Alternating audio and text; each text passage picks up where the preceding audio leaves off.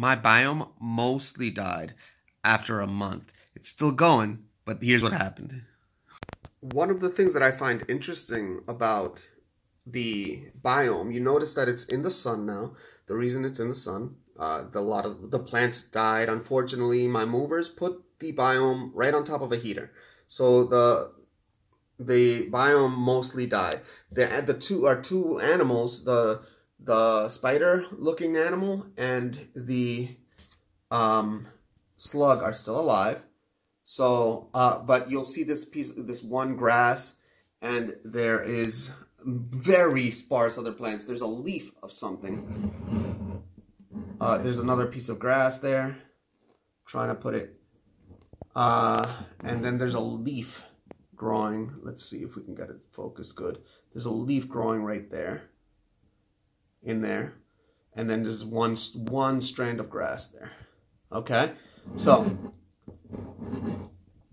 one of the things that I found interesting though, you'll notice that, and it's hard to see because of the, the sun, but it's important that it be in the sun for this fact. You'll notice that the glass is wet, which is which might feel strange, the fact that the glass is wet in the sun, um, which means that it's hotter. Normally, during a sunny day, it's drier outside, right? So why is it that the glass is dry when the sun is down and then suddenly the sun comes up and the glass is wet?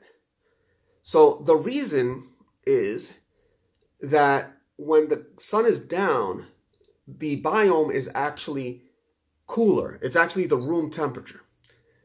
But when the sun shines on it, the sun heats up the interior of the biome and some of the water goes on to evaporate. The glass, though, because it's letting the, the sun in, the glass is actually cooler. That's the reason why at night, when you go to your car, you may notice that your windows are clear. And if you go to your car during the day, your windows are also clear, but in the very early morning, your windows are foggy. The reason is that the sun heats up the ground, the water on the ground evaporates, and then it condenses on the next cold object it gets to, which is your car windows. That's how the water cycle is run in this biome that's the one month update of of the biome. Listen, you could have been anywhere on YouTube and you decided to spend your time with me and and I want to let you know that I really do appreciate that.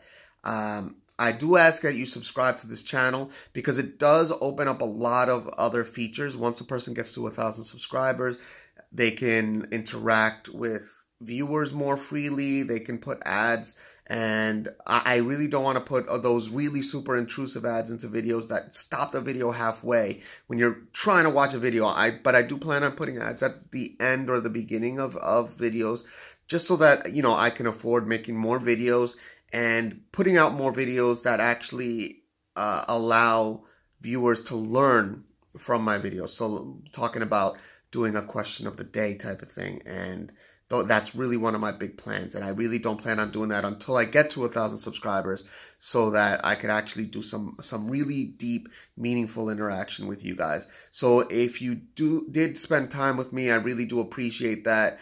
Do subscribe, hit the like button, and and let me know how, what you thought about this video, uh, and if you want to see more like it. All right, thanks.